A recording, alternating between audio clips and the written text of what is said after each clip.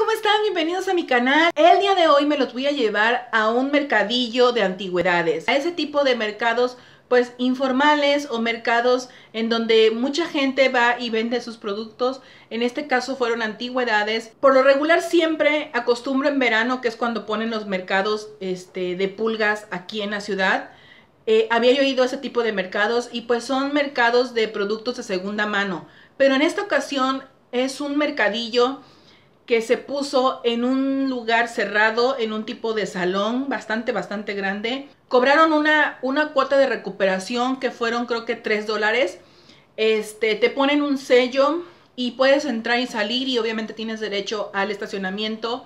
Eh, la cuota de recuperación en realidad es simbólica eh, y bueno, con ese, con ese pago de esa cuota tú tienes derecho a una rifa que se hace de manera constante, te dan unos tickets por persona, te dan un ticket y con ese ticket tú estás, mientras estás viendo lo que se vende ahí en el salón, en el mercadillo, están boceando los, los diferentes sorteos que se hacen. En promedio noté que se hacían los sorteos cada 10 minutos aproximadamente, este, voceaban, hacían como la tómbola este, de manera auditiva y voceaban los números ganadores. Evidentemente no me gané nada, pero noté que tenían esa dinámica. A lo largo del video les voy a narrar este, algunas situaciones o algunas particularidades que me gustaron de ese mercadillo. Me gustó mucho encontrarme cosas muy muy vintage y hubo un detalle que no me gustó tanto que hizo que perdiera su esencia de, de, pues, de mercadillo de antigüedades pero en general el, mercadillo estuvo muy muy bien. Entonces bueno, no les quiero hacer más larga esta introducción. Disfruten el video y regresamos al final.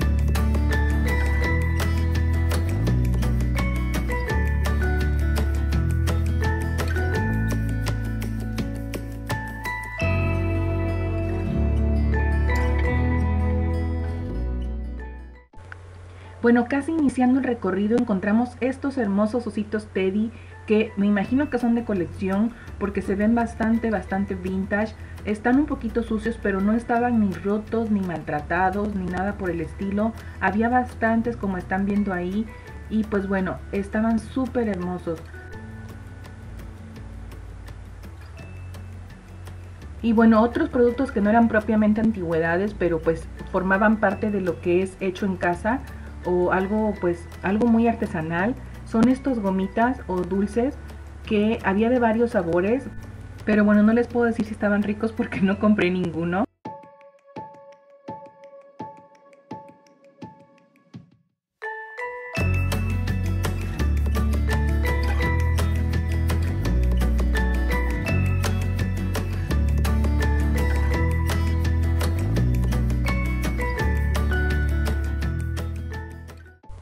Siguiendo con los artículos bastante, bastante vintage, encontramos estos que pueden servir muy bien de decoraciones para ese estilo, para un negocio, para una casa. Están súper bonitos. Eh, hay unos que parecen que están muy, muy maltratados, pero no ese es el estilo que se está manejando. Hay pajareras que se pueden decorar y, pueden formar parte de una decoración. El precio oscilaba entre los 20 dólares, más o menos, este, para que más o menos se den una idea. Eh, había de todo tipo de decoración de ese estilo. Ese era un solo stand de una sola persona, entonces tenía bastante, bastante decoración muy bonita. Y como pueden ver, había de todo, de todo. Había desde decoraciones, desde muebles, eh, desde cajoneras, escaleras, accesorios como relojes. Había también este, artículos para las cocinas, para decorar la cocina, eh, estaban esos artículos para decorar la cocina que les estoy mostrando, sí estaban un poquito elevado el precio, pero bueno, este son artículos de decoración y también son antigüedades.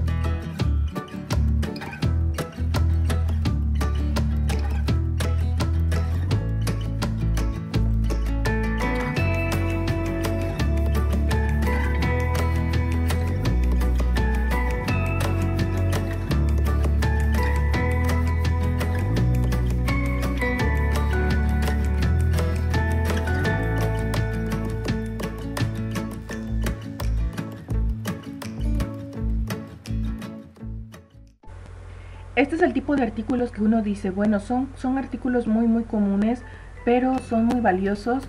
Estos son artículos de importación, se ve enseguida que son artículos vintage, pero son importados. Hay algunos juguetes todavía, revistas, incluso por ahí alcancé a ver discos de vinilo, pero eso lo vamos a ver más adelante. Cuadros, eh, están muy muy este, surtido. Algunas mesas que no eran tan vintage, pero bueno, ahí las pusieron. Algunos juguetes también. Eh, de todo tipo de, cosas. Incluso aquí estamos viendo que tenían un stand con artículos de manualidades de bisutería.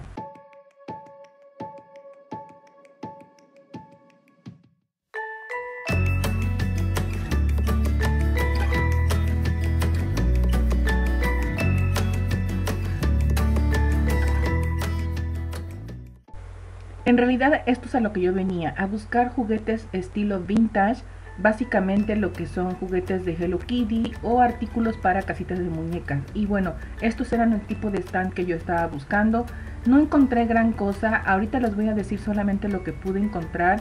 Eh, eh, ahí hay unos artículos súper vintage, súper, súper valiosos de juguetes, pero no eran lo que yo estaba buscando.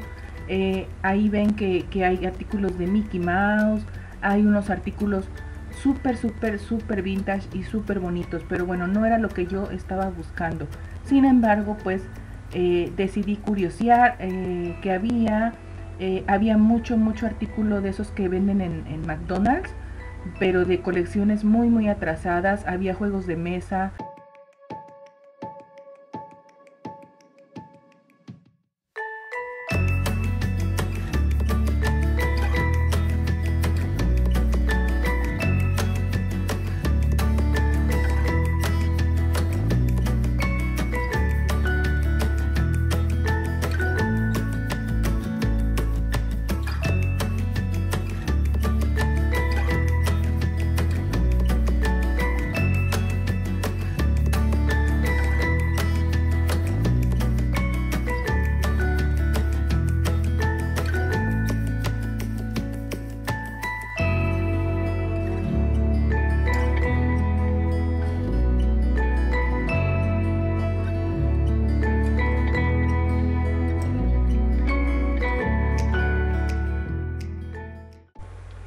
llegamos a la zona donde había juguetes, que era lo que yo estaba buscando. Eh, estaban dispersos por todo el lugar los juguetes. Estas charolas fueron las que me atraparon. Encontré bastantes juguetes. No era lo que yo buscaba, pero sí encontré algunos, este, pues algunos juguetes que yo necesitaba. Había mucho de My Little Pony o de los ponis. Había mucha Barbie, había eh, mucha de ese tipo Lula Lupsi mucho, mucho de eso. Había mucha Barbie, pero pues yo no colecciono Barbie. Yo, yo esperaba encontrar algo de Hello Kitty, pero no encontré nada de Hello Kitty más que un memorama. Este, y bueno, había demasiado, como están viendo ahí.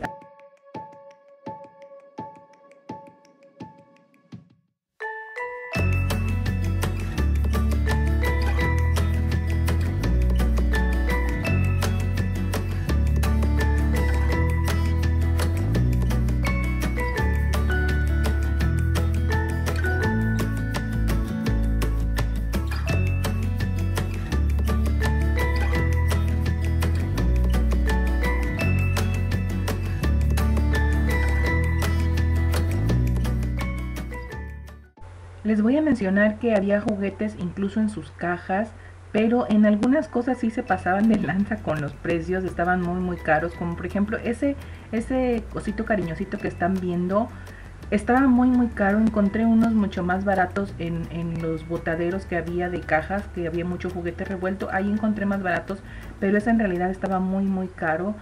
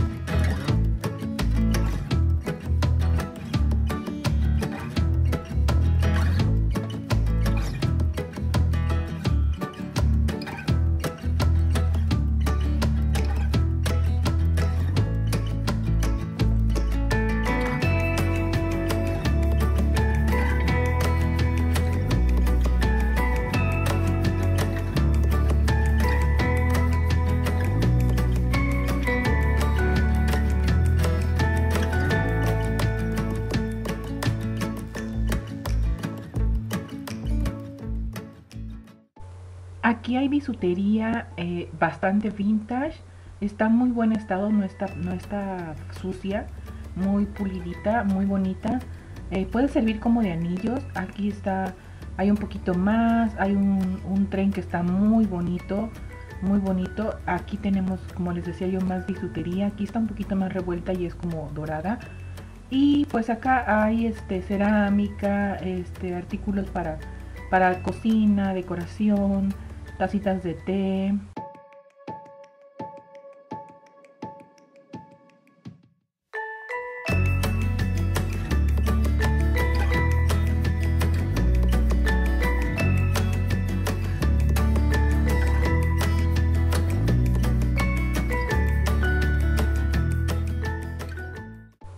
Aquí les voy a comentar algo que uno como, como no sabe de antigüedades desconoce totalmente esto.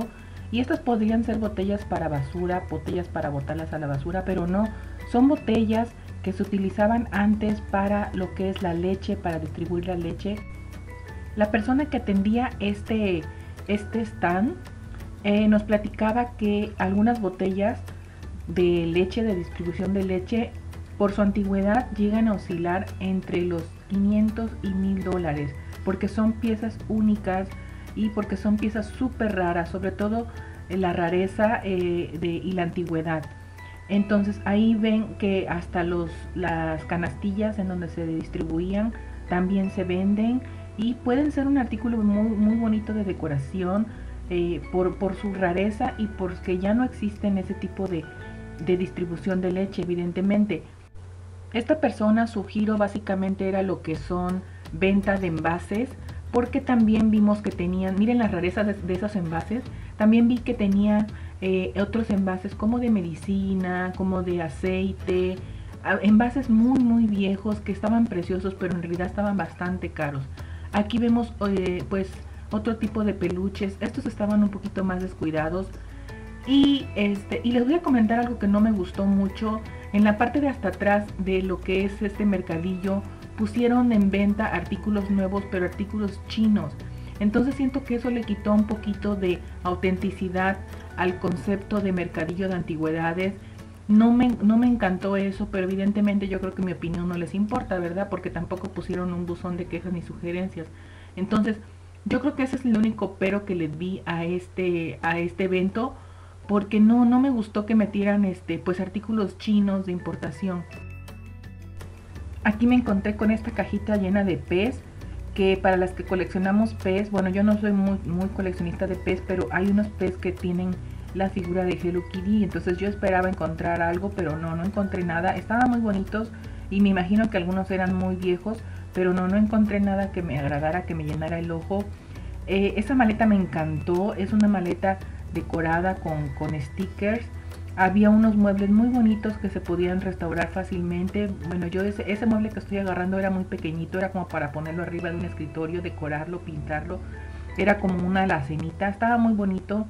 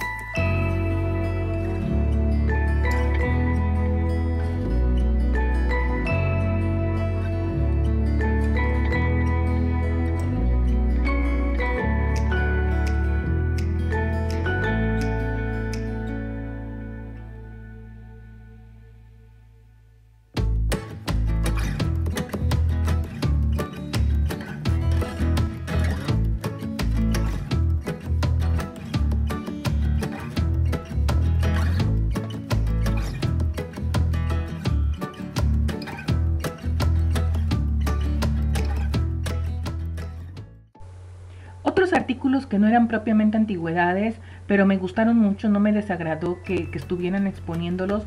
Son artesanías pues que hacían las personas que pues que estaban ahí, de hecho estaba la persona ahí todavía haciendo más. Estaban muy bonitos, eran unos muñecos muy bonitos y tuve la oportunidad de platicar con la persona y me dio precios, los precios pues no eran baratos, pero son artículos que valen la pena. Eh, ahí como vieron, cuestan 20 dólares los muñecos, tenían algunas colchitas. Y bueno, tristemente a comparación de México, porque no, no puedo evitar hacer la, la comparación, acá nos regatean los precios de las artesanías, de las manualidades. Entonces eso me gusta mucho, pero me da tristeza que en México conozco muchos casos de muchas compañeras que hacen manualidades y no valoran su trabajo y lo regatean y pues bueno, es bien triste porque el trabajo es único, cada pieza es única, pero bueno.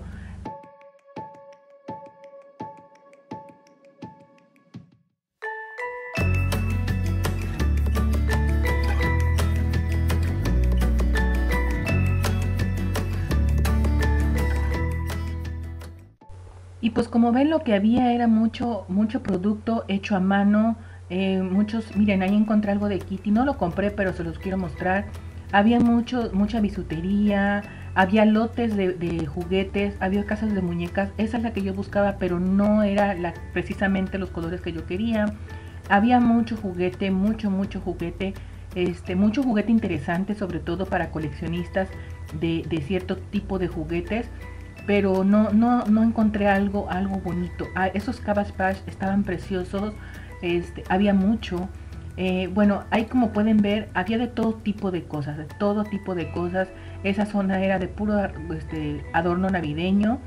Y bueno, este, ¿qué les puedo decir? Incluso había artículos de papelería, eh, había artículos de todo tipo, pero eh, enfocado a lo que es lo vintage. Incluso había cosas yo creo que de segunda mano, pero súper bien cuidadas. Entonces, era cuestión solamente de encontrar lo que tú querías. Encontré esos zapatos Louis Vuitton que no sé si sean originales, desconozco, pero estaban bastante viejitos. Pero bueno, para alguien coleccionista yo creo que, está muy bien.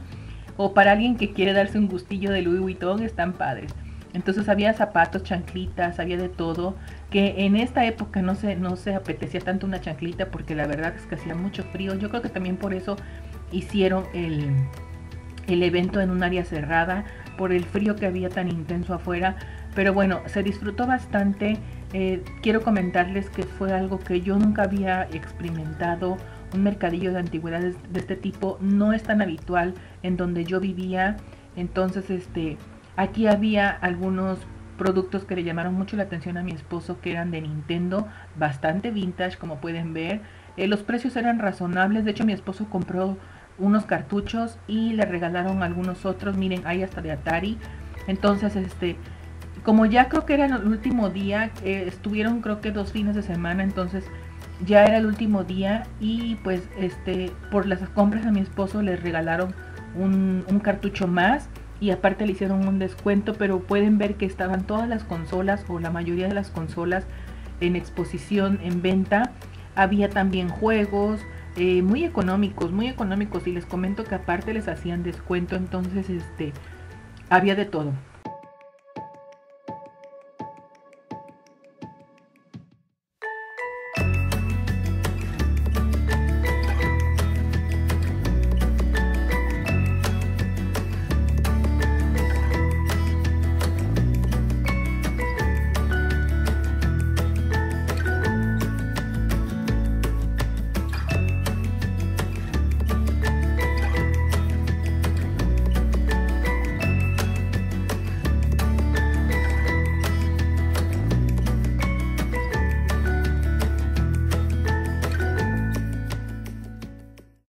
El video? Estaba padre, ¿no? Yo sé que en muchos lugares se acostumbra hacer este tipo de mercadillos. He visto videos de chicas en Europa y en Instagram este, sigo algunas chicas que viven en Europa y, y, van a este tipo de mercadillos antigüedades y en verdad se encuentran unas joyas, pero unas joyas hermosas. Espero que les haya gustado este recorrido. Yo sé que es un video que salió de lo habitual, que salió de lo de compras. Espero que se hayan entretenido. No olviden suscribirse si es como lo hacen y déjenme en los comentarios qué les pareció este recorrido y si les gusta que les comparta este tipo de eventos aquí en mi canal. Y recuerden que hay videos nuevos en este canal todos los martes y todos los jueves. Nos vemos hasta el próximo video. Bye.